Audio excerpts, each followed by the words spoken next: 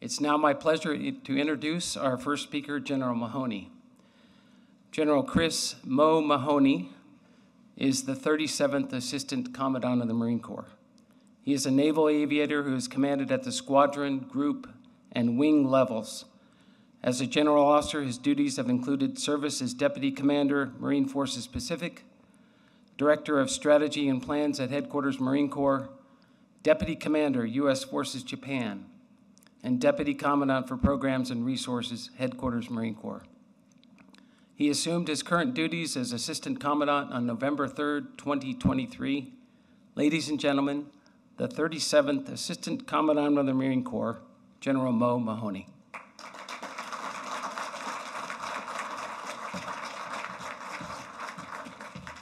Ray, hey, thanks for that. And once again, thanks to the sponsors. It's great to see uh, Pete Daly, albeit in perhaps a different, more relaxed role. Uh, Pete, I'll get right after it uh, so that I don't run the clock out uh, and we have time to have some, some give and take. Uh, it's always a great pleasure to come here uh, for Naval Institute events, regardless of what they are. So I'm, I'm truly humbled, Ray, for you bringing me up here and I hope you're enjoying your new position. Today, look, I want to provide my perspective. And you heard some of the jobs that I've had. I spent a lot of time uh, in the Pacific on, on naval, uh, naval strategy, primarily focused on force structure to get after uh, and answer the question, just not respond to it. We, as you know, uh, are a maritime nation. We rely now, as we have uh, throughout our history, on Navy and expeditionary forces, Marine forces for self defense and the preservation uh, of our way of life. So, not just defending what we value, but uh, protecting how we do it. Our naval force structure is not just a Department of the Navy issue in that regard, it's, it's a national issue. In fact, you know, I don't think I'm stretching the bow too far. It's not overly dramatic uh, to argue that the composition of our fleet from end to end, uh, our ability to plan, to budget, to build and maintain that fleet is more uh, than a national issue when you compare that with our strategy. Uh, it's a direct reflect, reflection of our commitment uh, to defend uh, a world order that we brought up and matured.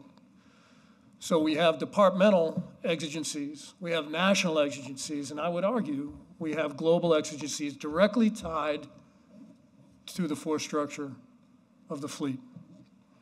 It's critical that we get this more right uh, than wrong. Uh, the insinuation there being that we've got a lot of things right, but let's work on getting it more right, not only for ourselves, but as I alluded to, for the preservation of international trade, security, uh, and prosperity.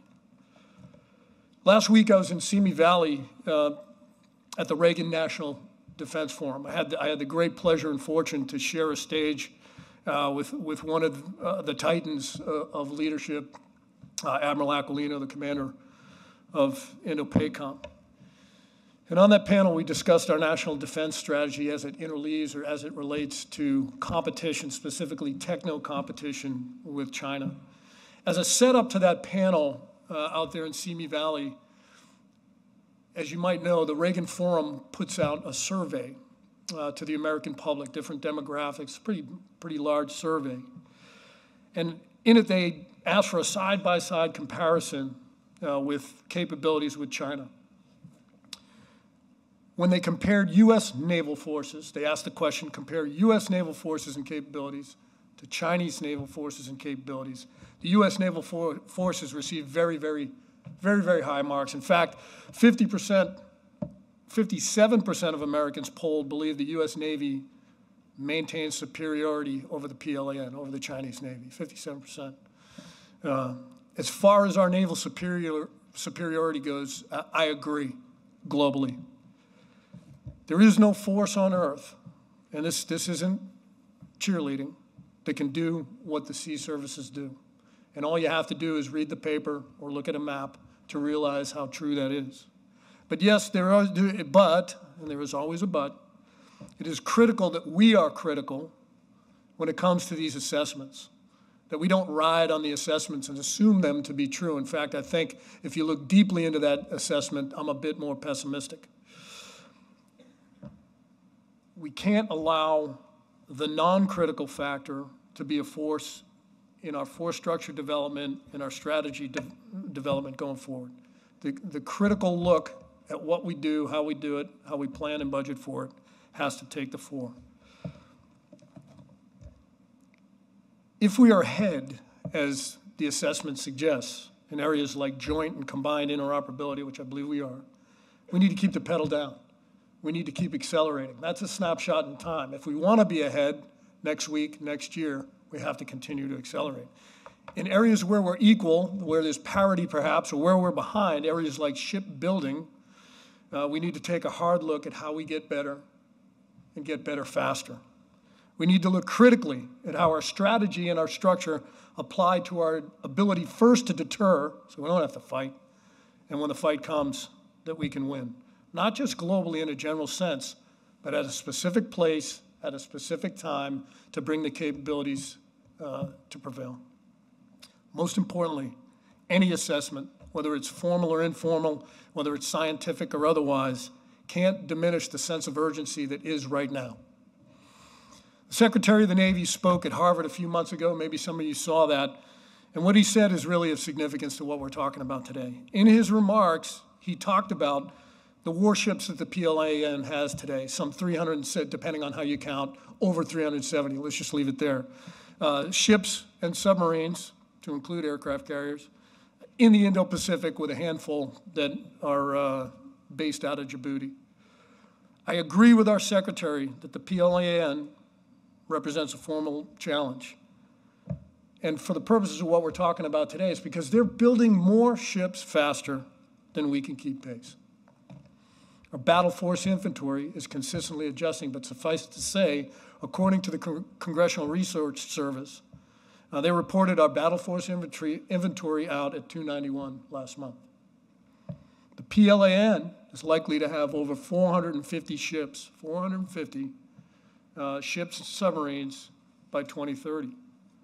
In this battle force inventory, they're, they're likely to have five carriers, five aircraft carriers. And it isn't just our assessment of this that matters. Addressing this forum in 2020, Mark Milley, the former chairman of the Joint Chiefs, said that the U.S. Navy will have to significantly increase the size of its fleet. Got a soldier saying that the Navy needs to significantly increase the size of its fleet. Why? To defeat, uh, excuse me, to deter China in the future. So he, like what I just alluded to, the snapshot in time, you've got to look forward. More specifically, and I'm quoting here, he said, We're going to have to have a much larger fleet than we have today if we're serious, if we're serious about great power competition and deterring great power war.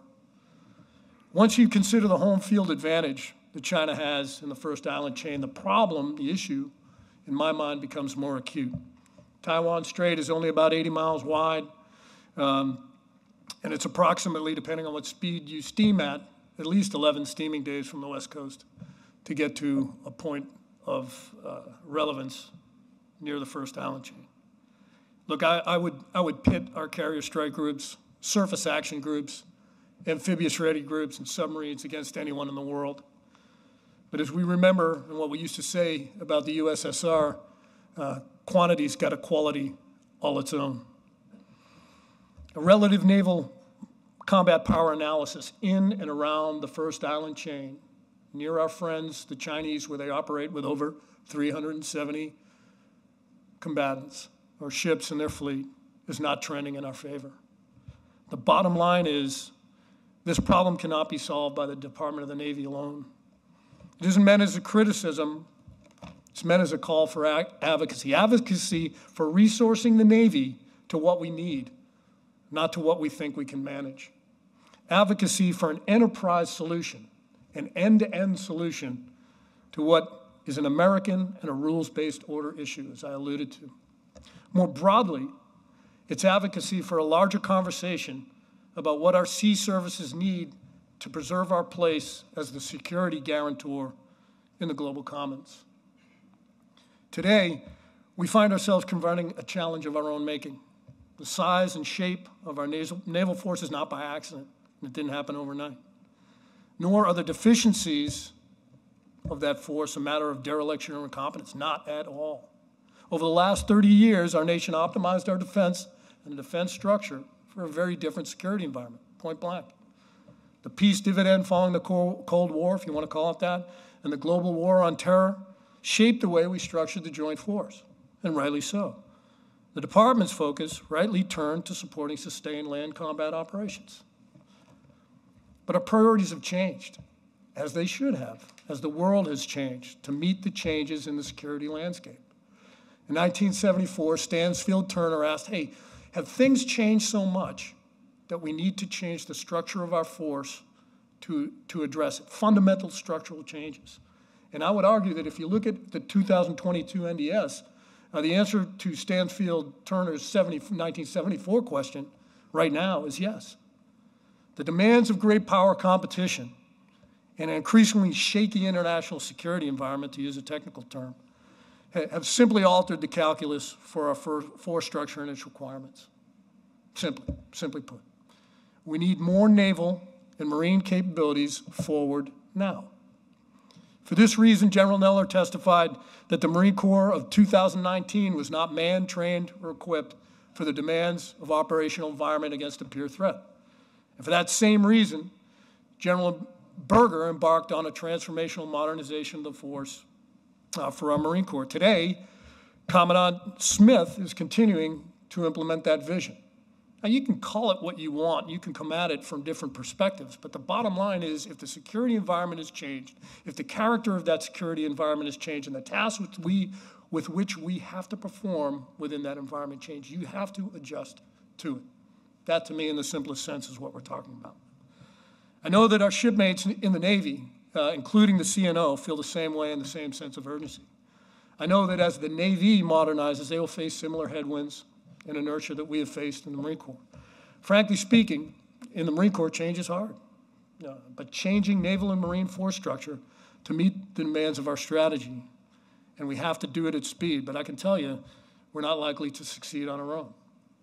We need an enterprise solution to this immense challenge which has become greater than the internal capabilities of the Department of the Navy to solve on its own. That's my thesis. Our Navy needs more resources, plain and simple. And if our department's budget remains flat or decreasing, we, want, we must make the difficult choices uh, during a critical time. We have to choose, choose to invest in a fleet that gives our nation the assurance of winning at the time and place that we choose. We need to choose before our investments, or lack thereof, make the choice for us. It's not simply a resourcing challenge. It's a shipbuilding challenge. It's a whole of government challenge. And every minute we don't act is a minute lost. Can't get it back. Last year, during his testimony, uh, Admiral Gilday spoke to distinct challenges our defense industrial base faces every day to preserve and employ a workforce capable of meeting our requirements. I couldn't agree more insufficiencies in our defense industrial base are severely, severely impacting readiness and the global coverage of naval and marine forces. As we speak, our ability to provide ARG-MEU support to the combatant commanders is consistently falling short. Can't put enough out there. Five out of the last six ARG-MEU formations uh, were delayed and did not meet their deployment schedule. With gaps in our ARG-MEU coverage, we're severely reducing the, combat, the combatant commander's options. And really, that's what we're there to provide. I don't want to sound like I'm only concerned about the Marine Corps. This is a naval problem. Every platform, every ship, every submarine's readiness is a matter for national concern. Fluctuations in demand from the DoD, restricted capacity of our shipyards, the limitations that are now ingrained in our domestic shipbuilding enterprise, each diminish our ability to support our national defense strategy. Fixing this will not be easy and we must meet the challenge with a sense of urgency. Resources, and most importantly, the ingenuity to overcome it is what's required. But our domestic shipbuilding industry, both commercial and military, is a vulnerability we cannot ignore. The U.S. Uh, has witnessed a precipitous decline in our world, in, in our ability to produce ships since World War II. And I read an article the other day that really snapped me to reality. By some estimates, we build about 2.2% of the world's commercial ships by gross tonnage. 0.2%. I'm not, that, that's a small number. While our shipbuilding capacity has de- declined, uh, our, our requirements globally have gone up. So we have an inverse proportionality relationship there. Our allies and partners are identified in our national st- strategy as a source of asymmetric advantage. If we do not have domestic capacity on its own to produce the fleet that we need at scale and at speed, what about our allies? AUKUS has started to chart a path for increased shipbuilding capacity in Australia. South Korea and Japan's combined shipbuilding capacity rivals China's. Even the European ship capacity, uh, shipbuilding capacity outstrips our own. Our allies, they host our troops. We will fight alongside our allies in combat. Why would we not empower them by inviting them to help us build and maintain our ships, invest in our shipbuilding? Representative Moulton, who I think will, will speak here today, argued last week that expanded shipbuilding and ship repair uh, capacity, specifically talked about Australia, uh, supports deterrence. Representative Wittman, who I think also will be on the stage, uh, highlighted that China has 23.2 million ton shipbuilding capacity versus 23.2 million versus 100,000 ton shipbuilding capacity for the United States. We need to better integrate our allies and partners to bring about real conventional deterrence. In the private sector, companies like Toyota build vehicles in the United States. I drive one, 2001 Tacoma, it's a good truck. They invested more than $8 billion in U.S. manufacturing operations last year alone. We should encourage our allies to make similar investments in our commercial shipbuilding. We would absolutely need the help of Congress, clearly. But I think the magnitude of the challenge requires us to scrutinize any policies that diminish our ability to produce more than the five or so heavy tonnage commercial ships that, that we've been building since about the 1980s. You may hear more about that later. I also think the military can help, but maybe, maybe not in the way that you think. Each year, the Marine Corps alone separates 20 to 30,000 Marines, sends them back to the civilian world. When they go, some go to school, some go into business, and a lot go into the trades. We need a national plan to incentivize our youth to work in the shipbuilding industry. Focus those trades on the shipbuilding industry. We've made great strides over the years, and I've visited uh, Connecticut, Virginia, and Mississippi to build out the labor force. However, this is a national imperative. We can be part of the solution if the Navy and the Marine Corps similarly prioritize and incentivize our departing sailors and Marines to pursue the trades that support shipbuilding. Community parochialisms uh, often lead us to believe that one specific platform or ship or aircraft uh, is critical to building the warfighting advantage. My last uh, tactical flight was in an F 35C, so that will clearly solve our national problems. Only if I'm in it. The thing is, look, mo- most of the time, the sum of the capabilities and capacities of multiple platforms, when you add them up, they're greater than each, each one of them alone. No big surprise there. What we need to guard jealously, and what, what really hammered it home for me out at Reagan, is that what we have that most others do not is an ingrained team fight mentality. Call it jointness, call it enterprise mentality, but that's something that we need to guard. All elements of the joint force need to complement each other. We need to build that way. They should reinforce the strengths of each other and, importantly, protect each other uh, against weaknesses. We have the most capable naval force with the most capable ships and the world's most capable sailors and, machine, and Marines. I see it every day. Our Navy possesses the most survivable element of the nuclear triad, and resource in Columbia has got to remain a top priority for the nation. Our CSGs are the most capable warfighting formation to have existed on the planet in its history. Our amphibious ready groups and amphibious warships remain a true Swiss Army knife for our combatant commanders. They bring a hospital, they bring a restaurant, a hotel, a gas station, an airport, an arms warehouse, a marina, and a battalion of angry Marines, all on mobile and maneuverable sovereign U.S. soil.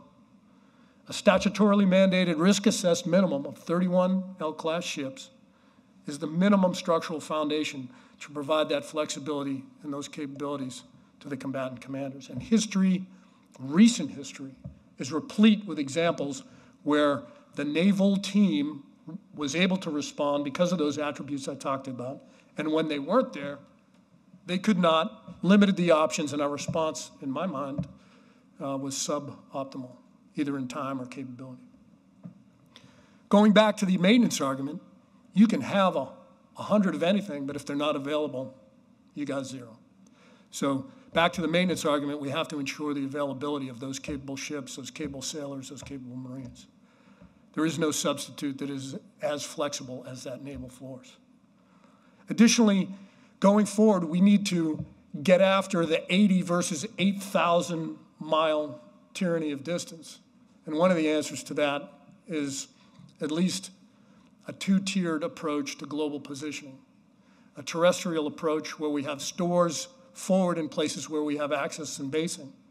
And I think most people here are familiar with the late uh, EDCA deals that we have, what we do in Australia and my old home turf, Japan, to have terrestrial stocks forward to destroy that 8,000 mile vulnerability. But importantly, we need maritime positioning stocks that, once again, by virtue of being afloat, are resilient and maneuverable and can show up in places where otherwise other people could not. Critical. That said, cruisers, destroyers, oilers, survey ships, minesweepers, manned and unmanned aviation, preferably manned. Each community is uh, it's critical to our overall lethality. I go back to the teaming aspect. I go back to interleaving the joint capabilities. We must, for the Marine Corps, teamed with our Navy brethren, we must be able to win the reconnaissance and counter reconnaissance fight knowing that our adversaries will take advantage of any large, slow, or massed formation. Speed and mobility, the attributes of any naval force, the attributes of, attributes of any fleet, uh, equate to survivability. And I reject the survivability binary, if anybody wants to talk about that. For the Marine Corps, the landing ship medium, the LSM, will give us an edge needed to operate uh, in a contested environment. The LSM will enable the Marine Corps and the Navy to rapidly distribute forces from the Marine littoral regiments and other adjacent units, they're not exclusive to any type model series of cargo or human, uh, within the Indo-PACOM region to gain a further edge in that competition with the pacing challenge. But let's not overbake this thing. It's not an amphibious warship, and it shouldn't be. It's, it enables our ability to remain at the forward edge.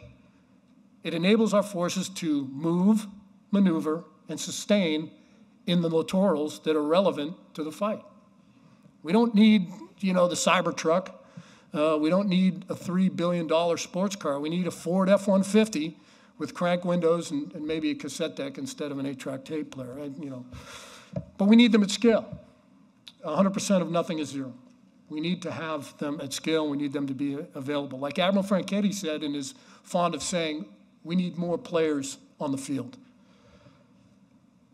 I think we only need to look at the Ukrainians and what they have done in the Black Sea to gain insights and how they have been able to contain, pressurize, and push the Russian Black Sea Fleet, and in some cases sink them.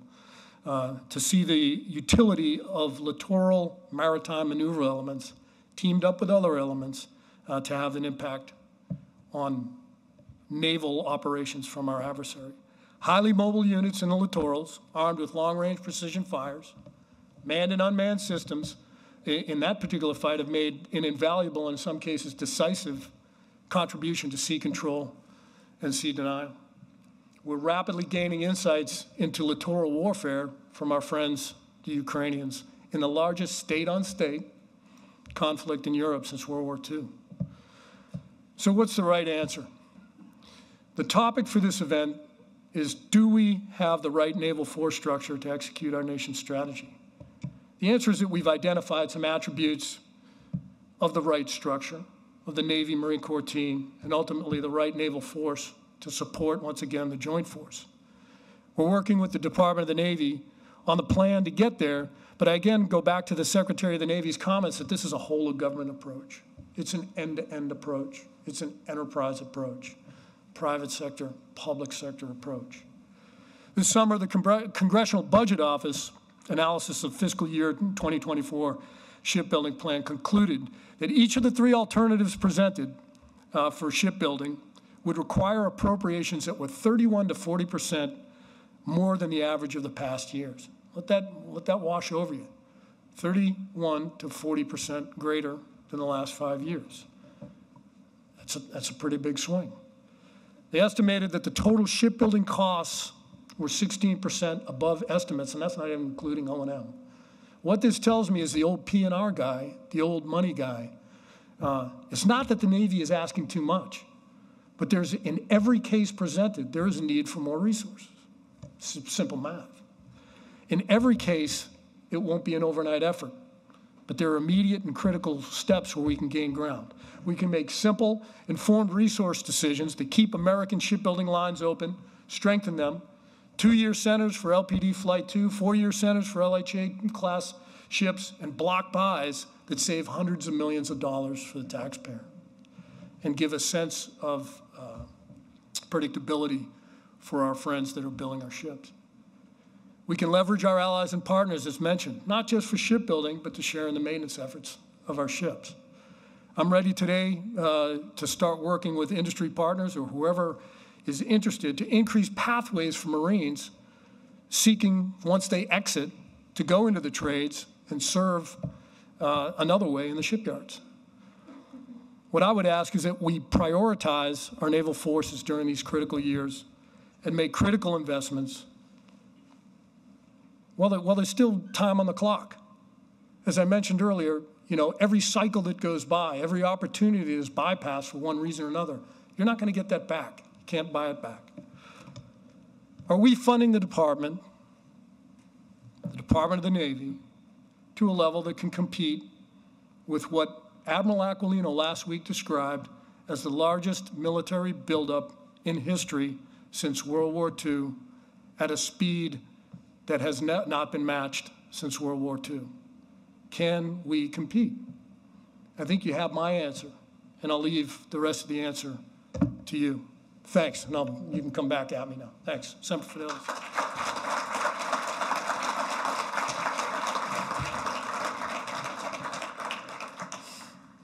All right.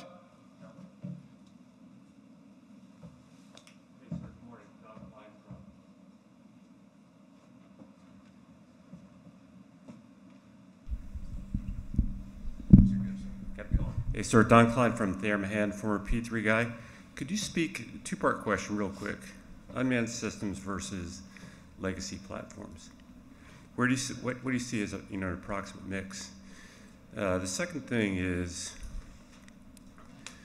the Navy in particular has been dabbling in surf, USVs and UUVs for quite a while, but there's not really a well-defined path to when it's actually become operational. So do we accept that we're going to take five to 10 years to get the 100% solution? Or do we invest in a solution that's 80% that we can have a year or two from now? Thanks very much. You bet. Uh, Great, great question, and and if you were at Reagan uh, last week, you would have had some very high-powered people be able to answer you in very, very deep technical terms. Unmanned versus manned. Uh, Everybody remember those mimeograph machines that you went like, you know, with the blue thing on it, you went like this, and you could make 10 copies in a minute, and boy, wasn't that great because you didn't have to type them. The manned-unmanned argument is over. The question is, to what scale and scope is there going to be a balance between humans in the loop, humans in the cockpit, and not? Because that mimeograph machine has now turned into a laser printer that can put out 500 pages a minute. That's, that's the speed, that, that is kind of what we're talking about here. Um, I'll go back to my U- Ukrainian example. They're using rudimentary unmanned systems to have an effect that is well beyond the investment that they put in it. Why would you not do that? Now, the question is who are the decision makers? What do we allow the machines to do? What do we tell them not to do? And that will be the argument going forward, whether it's an AI argument, whether it's a uh, large language model ar- argument. But it's not, it's not as much pressure on unmanned systems as it is the lethality argument. And to use Admiral Aquilino's uh, kind of trilogy of blind, see, kill, There is huge upside in each of those categories for unmanned systems or uncrewed systems. Um, to the, does that answer the first part of your question? The second part of the question is, and I'll put my PNR hat back on, uh, the labyrinthine, serpentine, byzantine, we ran out of time, cycle that we run in order to bring capabilities aboard. That has been recognized, and in particular by uh, OSD and by the Deputy, Deputy Secretary of Defense. So you've heard of programs like Replicator, uh, competitive uh, pathways, Project Convergence, Project Overmatch. These are designed to push through that, to get around it. And I just my recent experience with Replicator, uh, the time frame is 18 months at scale. And there are very skilled vendors that are ready to come back to us. And a lot of those systems that are being entertained in the replicator effort uh, are, are unmanned or autonomous to some, to some degree. Does that get after that? So if the traditional pathway, you and I will be here 10 years from now going, hey, yeah, we'll get after it. But I think the DepSecDef sees that, that we need to push that sense of urgency and we need to push hard. And Re- Replicator specifically is one, one example where we're getting after that. And, and I, you know, let me, I'm too old, you know, to kind of blow smoke. We're going to see it. We're going to see results from that effort, uh, very real results. And one of those three, see blind kill. And com- my fourth one, which is command and control. Your aide's giving you the signal right there. But He's junior to me. I have a quick, I have a quick question. Yes, sir. So force structure without enough weapons is hollow. And certainly one of the lessons we learned from Ukraine is we need more weapons.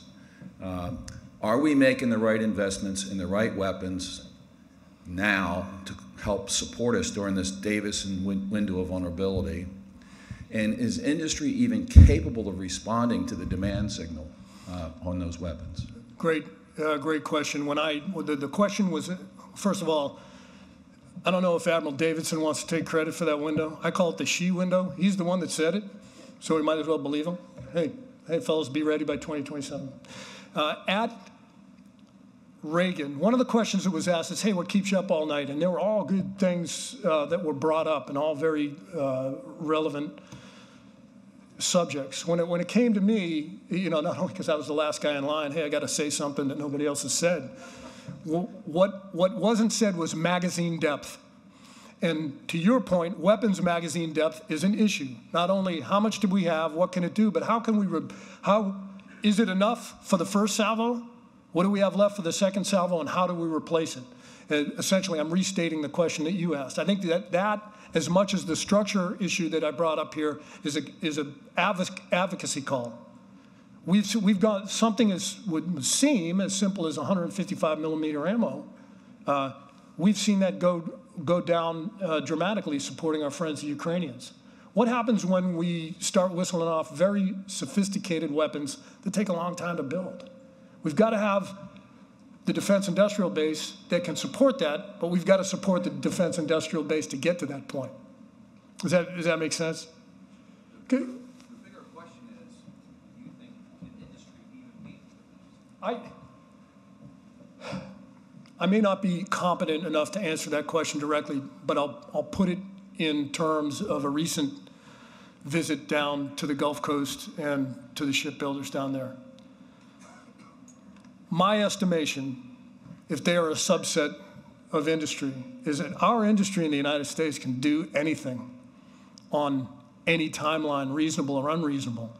But they've got to be brought in, they've got to have SA, they've got to have resources, and they've got to build out to do it. But I believe that they can. Let's not, once again, rule out our, our allies and partners. Significant capability, uh, not only in just capacity of building things, but in technological know-how. So if you put that whole thing together, I believe the answer is yes. But you got to commit to it. You can't just say it, hey, there's the smartest guy in the world. The smartest guy or gal in the world has got to be able to do their job, and they got to be able to be resourced to do it. That goes back to the process issue. Is that, does that get after it? Okay. All right, how about, how about one more? Uh-oh, I'm getting the hook from Ray. He's, I- I'm not senior to him. Why, yes, you are, sir. General, uh, we very much appreciate your time. We know you're new in the job, but you're not only new in the job, you're holding down two jobs right now. Uh, So we really appreciate you making the time for us. Sure, thanks, always a pleasure. As a token of our appreciation, we'd like you to have this Naval Institute Press book, uh, U.S. Naval Power in the 21st Century by Brent Sadler. Awesome, great. Thank you, sir. Thanks, sir.